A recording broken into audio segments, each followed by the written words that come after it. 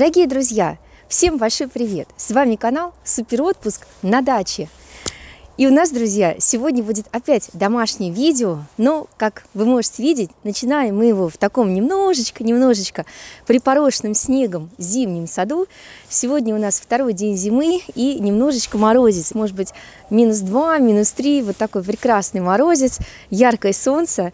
Я, друзья, хотела сейчас а, закрыть свои самшиты, покажу вам, как я это буду делать, для чего, расскажу. Главным образом надо закрывать самшиты. Расскажу, почему 10 лет я их вообще не закрывала. Вот, в общем, сегодня, друзья, разберусь с самшитами.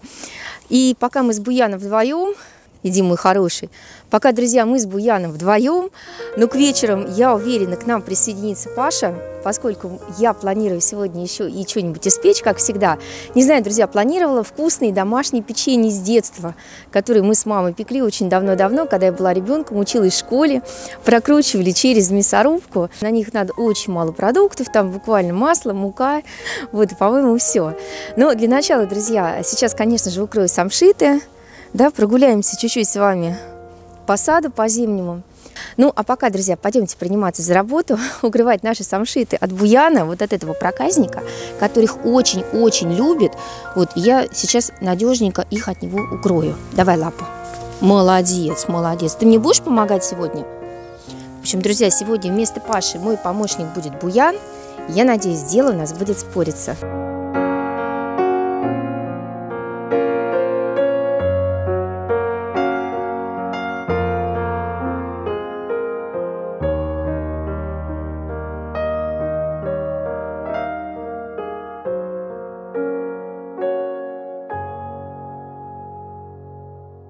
Друзья, он а, кушает снег, потому что сейчас зимой вода замерзает, да, хоть мы ему наливаем в миску воды, конечно, стараемся его попоить, но вода замерзает. Ну, в общем, животные, на то они животные, а, у них, а, они с природой единое целое, и, конечно же, они едят снег. Поэтому Буян с огромным удовольствием зимой грызет снег. И вот сейчас из своего, из своего любимого самшита ты, в общем, да, снежок грызешь, да, Буян?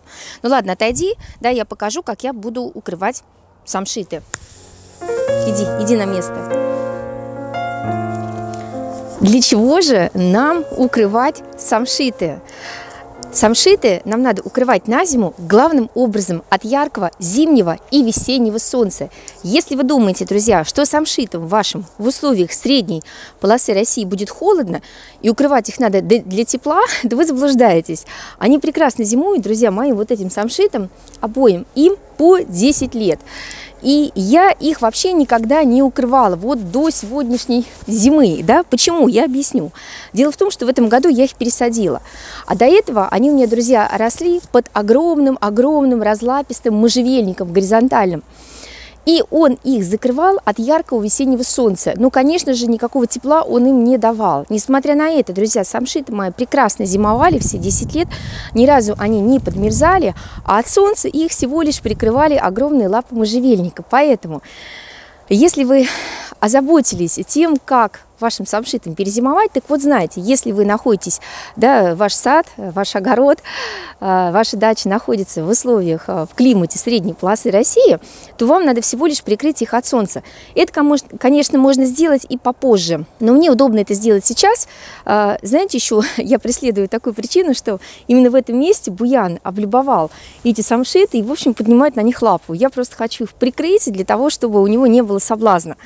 Вот, на самом деле, друзья, да, почему мы прикрываем вообще самшиты от солнца? Вот так же, как и туи. Дело в том, что все-таки самшиты, как и туи, это у нас растения южные, и они а, их а, корневая система, она просыпается позже, да, чем вот их, а, как у туи хвоя, у самшитов это крона, да, и крона под ярким весенним или зимним солнцем может у самшита проснуться раньше времени и пойти в рост, да, какие-то почки развиваться, а так как питание им брать еще неоткуда, корневая это спит, ну, собственно говоря, самшиты таким образом и горят, так же, как и туи. Поэтому очень хорошо прикрыть их, конечно же, от солнца, чего я и сделаю, потому что сейчас никакого можжевельника, никакой защиты у меня больше у самшитов нет.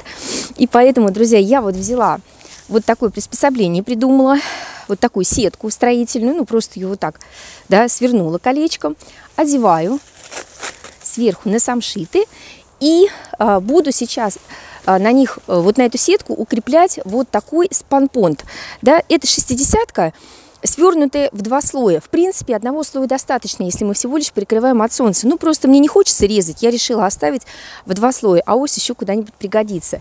И просто сейчас вот так вот оборачиваю, оберну, друзья, и закреплю, да, либо степлером, либо нитками зашью. Степлер что-то найти не смогла. Ну, в общем, что-нибудь придумаю. Прям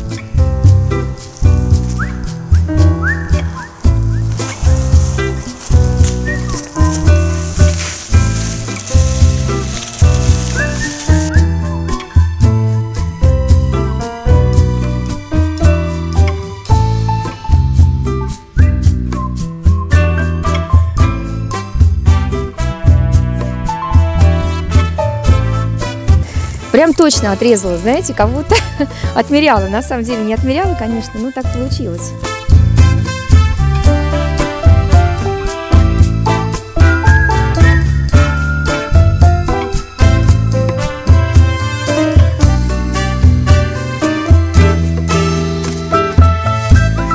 Ну вот такой шов у меня получился.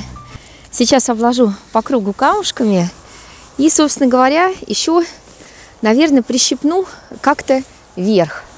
На самом деле это очень хорошее воздушное укрытие, потому что там внутри достаточно воздуха для того, чтобы растения наши под яркими весенними лучами солнца не сопрело. Лучше, конечно, в таких целях использовать э, какой-то материал, а, может быть, мешковину, да, вот так по кругу. Но, друзья, у меня мешковины нет. Я решила, да, закрыть вот все-таки с панпонтом. Но, опять же, какое у меня большое там расстояние, да, сколько там много воздуха. То есть растение не сопреет. И смотрите, вот еще такой момент, да, а, для того, чтобы наша ткань под тяжестью снега, да, даже если бы я сейчас зашила или застеплила, или как-то закрепила, не падала сюда на самшит, да, и не, собственно говоря, на нем не повисала, упала, вот тебе и все загниение а, от этого и происходит. Я придумала вот такую решетку, друзья. В общем, все подручные материалы идут в ход. Вот сверху закрепила такую решеточку, и на нее вот так сейчас просто ткань заложу. Да и, собственно говоря, и зашивать тогда не надо. Просто сейчас либо какой-то брусок, либо да, камни положу, и вот укрытие готово.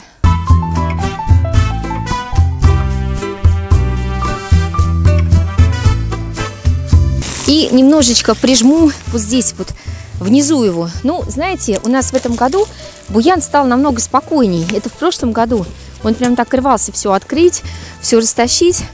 В этом году, слава богу, вот уже давно все прикрыто, и ни разу он, так сказать, не произвел попытки что-либо раскрыть, растащить эту ткань, как-то ее порвать, покусать. В общем, уже такой стал достаточно умный мальчик. Ну вот, собственно говоря, укрытие готово. Переходим к следующему. И вот так у нас проходит сегодняшний зимний прекрасный солнечный день.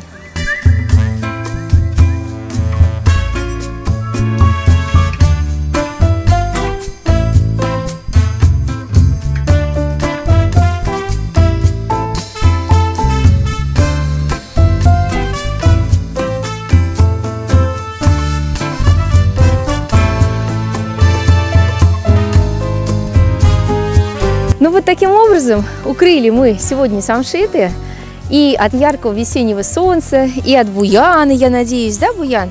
Больше ты к самшитам никак у нас не проберешься.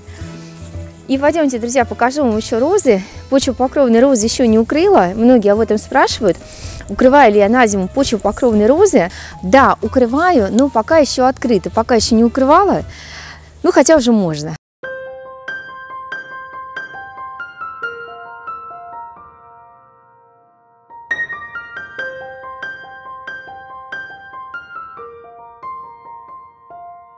Ну вот мои красавицы немножечко подмерзли, мои хорошие. Но ничего, такой легкий морозец, да, минус 7, да, минус 10, да, если прям не постоянно только минус 10 держится, он для них даже полезен. И вообще почвопокровные розы, они, конечно, достаточно зимостойкие, друзья. Ну, собственно говоря, почему? Потому что они и к земле клонятся, и сами по себе вот вид такой, да, зимостойкий, считаются почвопокровные розы. Но, несмотря на это, я, конечно, друзья, не рискую, я все равно их укрываю, но делаю это, как правило, немного позже. Вот эти розы я всегда укрываю позже. И я думаю, думаю, в следующем блоге обязательно с Пашей покажем, как будем их укрывать, потому что все-таки думаю, что время пришло.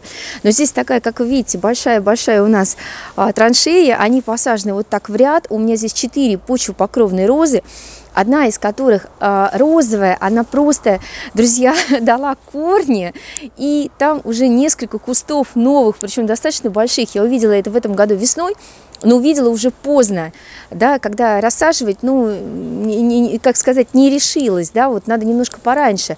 На следующий год, вот как следующим, следующим годом открою, вот в апреле буду отсаживать там три или четыре куста, друзья, уже достаточно больших, вот у этой розовой розы.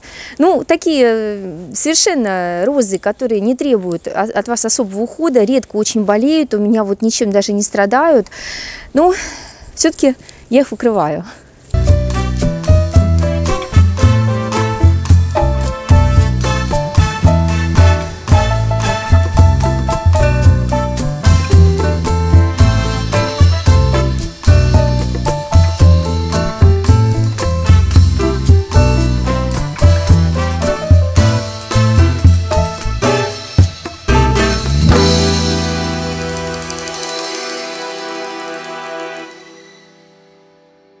Мы вдоволь нагулялись, поделали кое-какие дела в саду, и теперь самое время нам взяться за выпечку.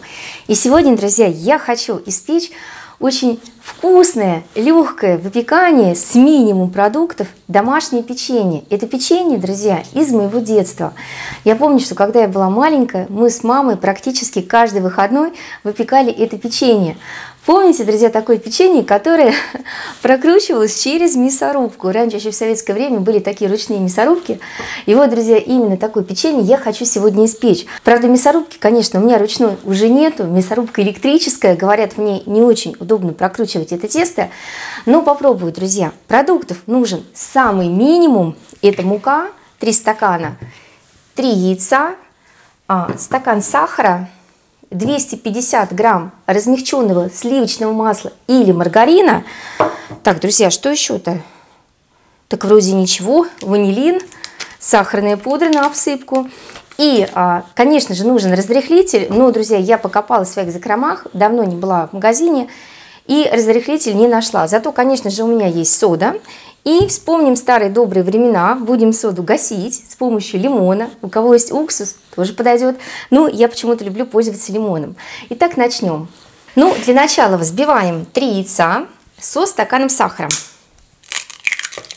Можно использовать 2 яйца в том случае, если яйца у вас большие. Если яички такие не очень большие, среднего размера, то 3.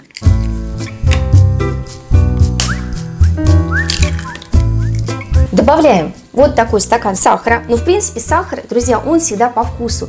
Я, например, не очень люблю печенье сладкое, поэтому, возможно, я добавлю чуть-чуть меньше. Но кто-то любит сладкое, кому-то, может быть, и стакана будет мало. Но я, наверное, весь высыпать не буду потому что сверху еще буду посыпать сахарной пудрой, поэтому думаю, ну вот такого количества достаточно, чуть больше, чем половину. И взбиваем, друзья. Если у вас есть э, миксер, конечно же, хорошо это сделать миксером, до белой пены взбиваем. Если у вас есть венчик, еще лучше. Но, друзья, мы живем в этом доме совсем недавно, еще не всю кухонную утварь я купила. Вот. Тем более сейчас, если честно, друзья, вообще предпочитаю не ходить в магазины, не портить себе нервы. Мне это очень тяжело дается. Стала заказывать на дом, друзья, продукты из интернет-магазинов. Вот, мне так проще, мне так легче. Уединилась.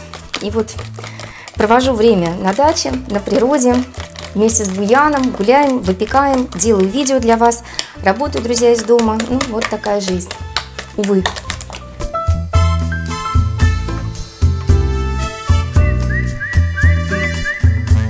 Добавляем вот э, в эту массу э, хорошо взбитые яйца с сахаром, размягченное сливочное масло. Еще раз повторяю, что можно использовать маргарин. Я помню, что в советское время мы всегда с мамой, конечно же, использовали маргарин. Это было дешевле. Вот, и маргарин, он всегда применялся в выпечке. Вот, но сейчас у меня оставалось в холодильнике неиспользованное, немного полежавшее а, такое сливочное масло, которое очень хорошо у нас идет в выпечку. Ну вот его я, пожалуй, буду использовать. Взбиваем, друзья, очень хорошо взбиваем вот это масло, да, вот, соответственно, с сахаром и с яйцами.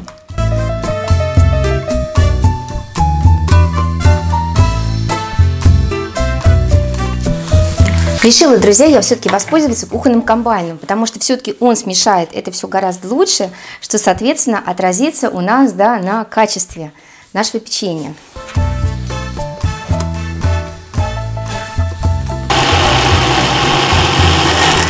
Добавляю, друзья, сюда пакетик ванилина. М -м, запах сейчас будет обалденный от ванилина.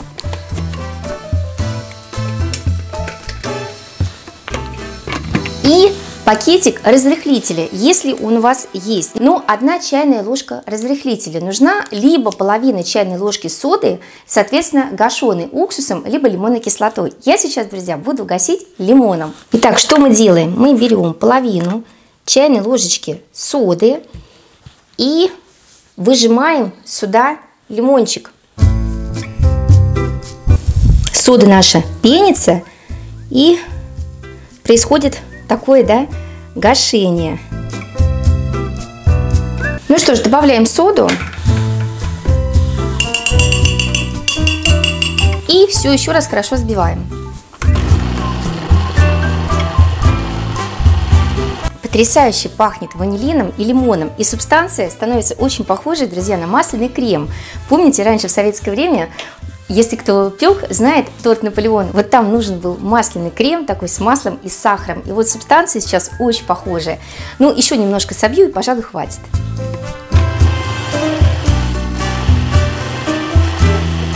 Ну, и дальше, собственно говоря, нам остается только добавить муку. Сейчас выльем получившуюся взбитую такую массу у нас в миску и будем добавлять сюда потихонечку, вымешивая 3 стакана муки. Причем, друзья, мука, конечно же, у вас должна быть просеянная, и добавлять ее надо очень и очень осторожно, потому что тесто будет замешиваться туго, тесто у нас будет очень такое, знаете, тугое, жесткое. Все-таки мы будем его потом прокручивать через мясорубку, и оно должно сохранять вот такой узор из мясорубки.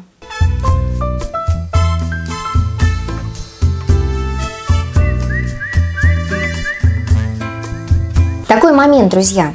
У вас должно получиться очень-очень густое тесто.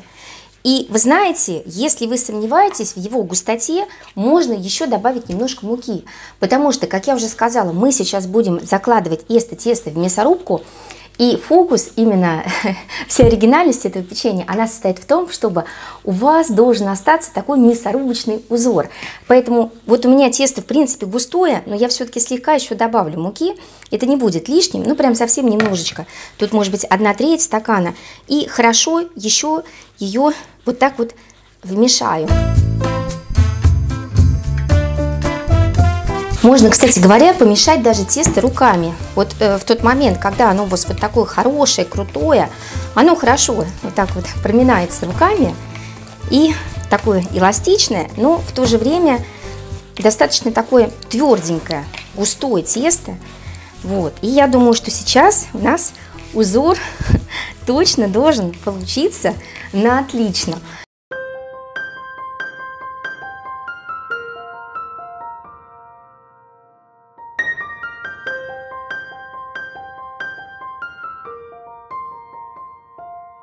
Ну и гвоздь программы. Самое интересное, к чему мы подошли. Берем, друзья, наше густое тесто, выкладываем его в мясорубку и включаем. Сейчас посмотрим, что у нас будет получаться. Берем ложечку теста, выкладываем его в мясорубку. Я, друзья, видите, уже подставила противень, на который постелила а, да, пергаментную бумагу. Предварительно на противень я полила подсолнечного масла, промаслила эту бумажку. И вот сейчас прямо сюда будет падать наше печенье. Но нам, друзья, надо будет его подхватывать, поэтому возьмем ножик. Тут надо будет вовремя отрезать. В общем, друзья, сейчас посмотрим. Пока еще сама не знаю, что будет получаться.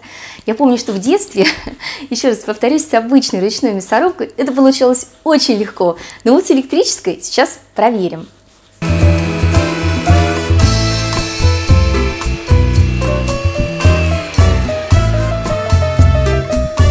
Слушайте, по-моему, получилось.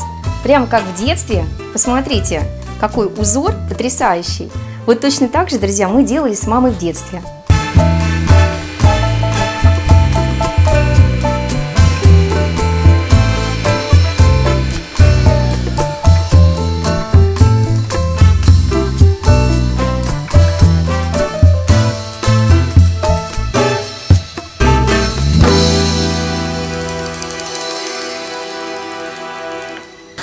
Видите, в принципе, друзья, все получается. Единственный а, не очень неудобный момент здесь заключается в том, что надо вовремя нажать на кнопку и остановить мясорубку, да, когда мы раньше крутили вручную, как-то это было проще. Да, крутишь, крутишь, раз перестаешь крутить. Здесь надо вовремя нажимать на кнопочку.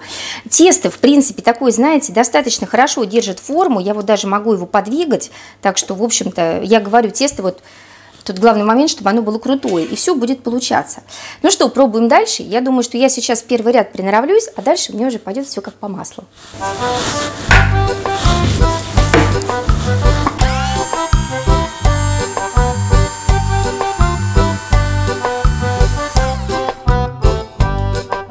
Ну, слушайте, друзья, вообще все получается.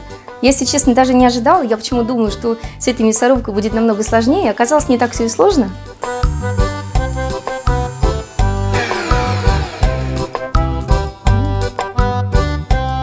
Вот этот чуть-чуть рассыпался, но ничего страшного, друзья.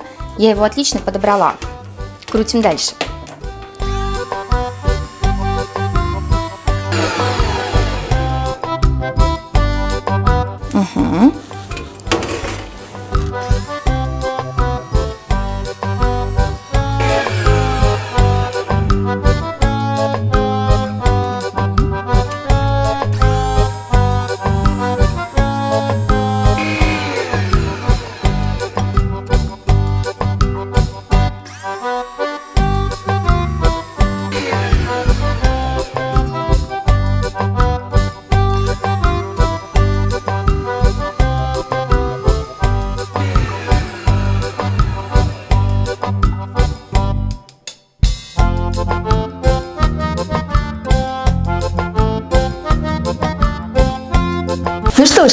Противень печенья, друзья, у меня готов. Я его все-таки накрутила. Оказалось, это не так сложно. Потом вот эти средние ряды я просто, друзья, немножко подхватывала тесто рукой. К сожалению, сегодня я одна, э, готовлю одна, снимаю одна, поэтому не все мне удобно, не весь процесс для вас снять. Но я думаю, что, в принципе, вы поняли, как и что делать, да? И теперь, друзья, мы отправляем это печенье в хорошо разогретую духовку. Разогретая она должна быть до температуры 180 градусов на 15 15 минут.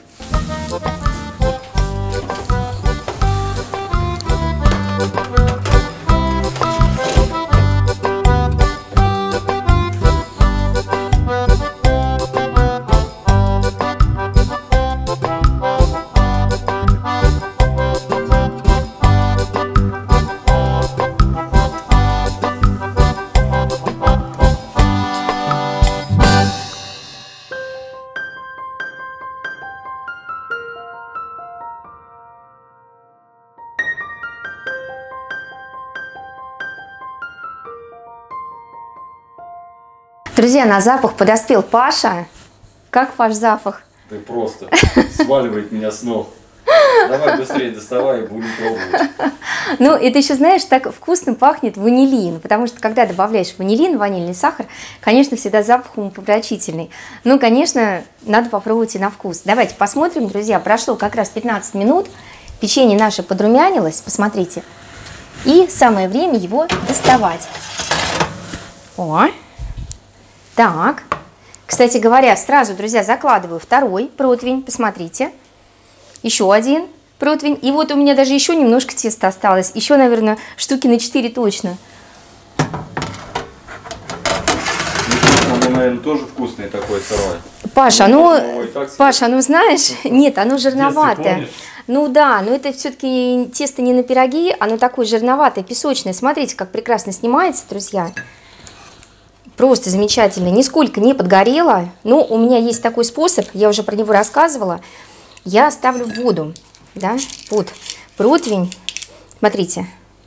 Ну, можно немножечко побольше поджарить, это кто как любит. Вот посмотрите, какая прелесть. Скажи, да. какого-то осьминога напоминает, да?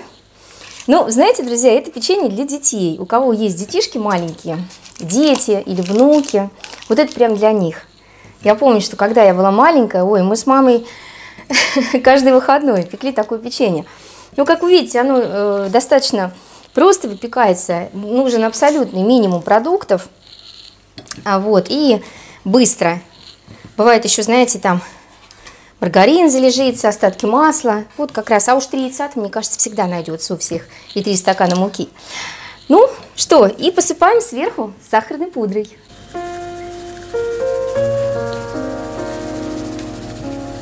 Прям как пончики. Ну, что ты? Сейчас будем пробовать. Ты с чем будешь, Паш, с молоком или с Да. кофе? С молоком. Но я знаю, что ты любишь с молоком. А я, друзья, сейчас наведу себе кофе. Буду с кофе.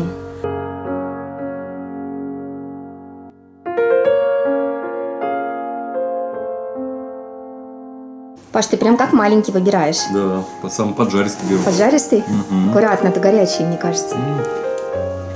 М. Ты знаешь, я хочу стать маленьким. Ты знаешь, ну у нас есть маленький, в принципе. Я думаю, ему очень понравится. Ты думаешь? Да. Это все-таки не перловая каша, думаешь, заценит, да? Сто процентов. Наш маленький сказал, что вот Буян заценит точно. Вот он самый маленький, и он сто процентов заценит. Но мы его сейчас угостим.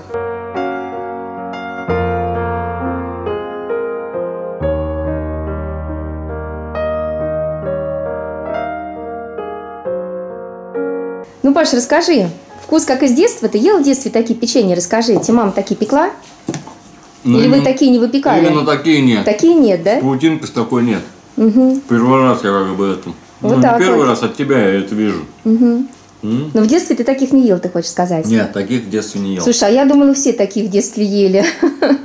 Мне кажется, это такое распространенное печенье. Видишь, оказывается, еще и не все, да, вот Ну, так вот. Ну, ваша мама, она как-то больше любила, мне кажется, пирожки печь, да? Она у вас по пирожкам основном, специалист. Да, и блинчики. И блинчики, да, да. Пашина мама, друзья, совершенно потрясающе печет блины, а, причем на дрожжах. Мне очень нравится, как она делает. Она очень любит выпекать пирожки. А вот что касается всяких печений, да, чего еще, тортов, это как-то я больше. Это люблю. Светлана, да. Да. Ну, в общем, Паш, советуешь Очень. печь Очень. по такому рецепту? Рекомендую. Обязательно. Ты знаешь, я вот жую, жую, ем, ем. Никак не могу понять, что же напоминает мне. Вот куравье, кажется, вот печенье на куравье похож чем-то. Ну, не Песочное, пол- потому да, что. не полностью, но что-то есть. Ну, я попробовала, да, друзья, на самом деле напоминает печенье курабье или куравье, как оно правильно, мне кажется, курабье. Вот, и действительно, оно такое вот очень напоминает. Ну, а что, оно обычное песочное печенье, свежее, вкусное, Но домашнее. вкуснее. Ребята вкуснее. Говорю сто процентов.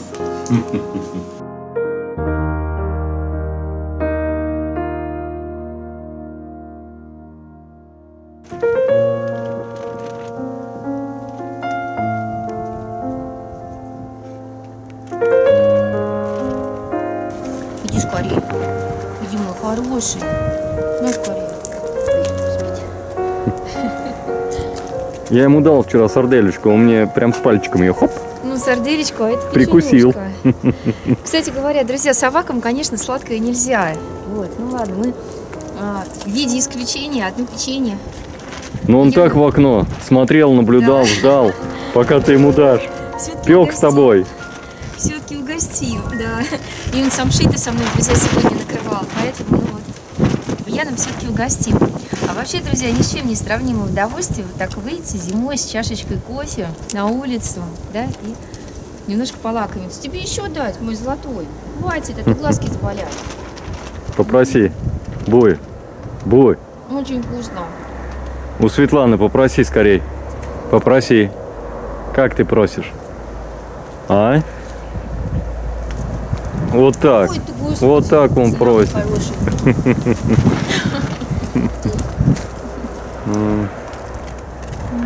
Нет, обычно он еще на задние лапы встает и... Ладно.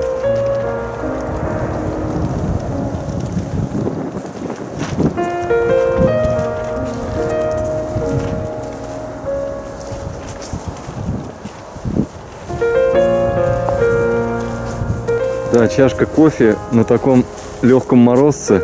Прям, наверное, великолепно, да? Замечательно.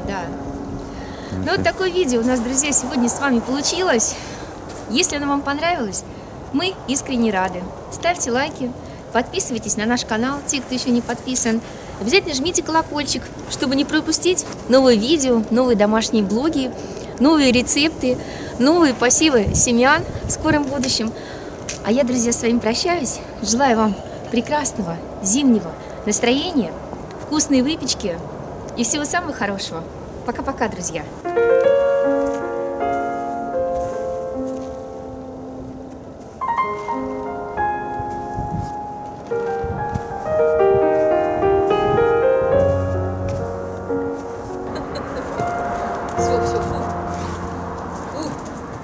Ну просит, он просит теперь.